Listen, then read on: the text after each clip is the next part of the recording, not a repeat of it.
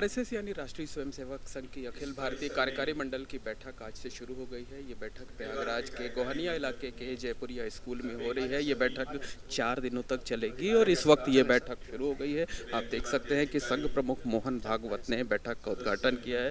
भारत माता के चित्र पर फूल चढ़ाए हैं और फूल चढ़ाए जाने के बाद जो है वो संघ का जो मंत्र होता है, वो मंत्र का पाठ किया गया है और उसके बाद ये बैठक शुरू हो चुकी है और ये जो बैठक है, बैठक में पूरे देश के जो 45 प्रांत हैं, संघ के मद्देनज़र उस 45 प्रांत के जो है वो तीन सौ अठहत्तर जो प्रतिनिधि हैं, उन प्रतिनिधियों को बुलाया गया है। ये बैठक 19 अक्टूबर को ख़त्म होगी और इस बैठक में कई अहम मुद्दों पर चर्चा की जाएगी। खासकर संघ का शताब्दी वर्ष शुरू होने वाला है और संघ के शताब्दी वर्ष पर किस तरीके के कार्यक्रम आयोजित किए जाएँ, क्या रूपरेखा होगी, वो रूपरेखा यहाँ पर तय की जाएगी। इसके साथ साथ आपको बता दें कि संघ प्रमुख मोहन भागवत ने विजयादशमी के दिन जो भाषण दिया था उन भाषण में, जो बिंदु थे, जो मुद्दे थे, उन बिंदुओं पर, उन मुद्दों पर भी चर्चा की जाएगी। तो बैठक शुरू हो गई है।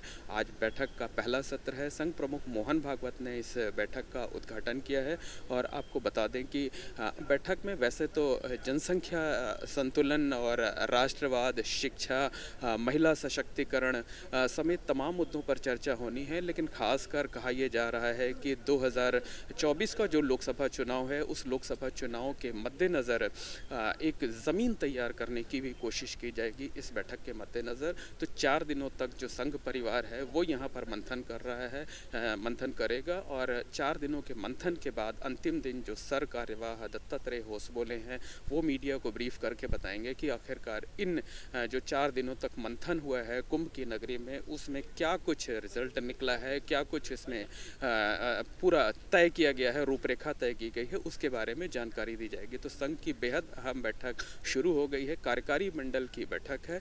चार दिनों तक चलेगी संगम नगरी प्रयागराज में और बैठक शुरू हो चुकी है और चार दिनों के मंथन के बाद पता चलेगा कि आखिर संघ ने क्या रणनीति तैयार की है, क्या कुछ फैसले लिए हैं। कैमरामैन रोहित श्रीवास्तव के साथ मोहम्मद मोइन, एबीपी गंगा, प्रयागराज।